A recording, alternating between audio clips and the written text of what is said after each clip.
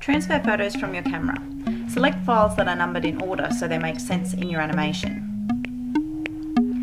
Make any changes that you want to the transitions or to the colour. Most importantly, you need to change the duration of all the photos. Click Ctrl A to make sure you're changing the duration on all the shots. That's pretty much it. Make sure you save your project and upload it to YouTube to share with the world.